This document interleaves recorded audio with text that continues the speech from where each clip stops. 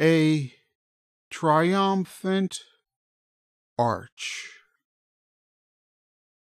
a Chepultepec formation,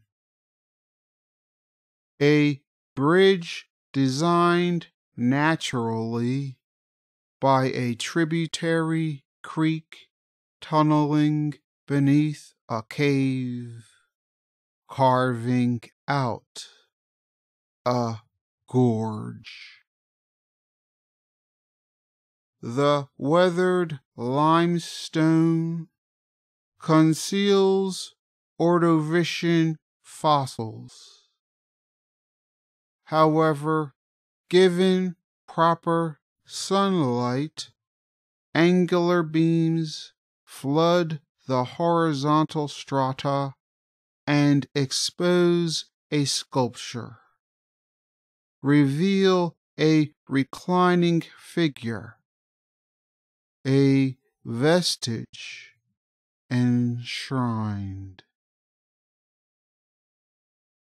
A quarry quandary.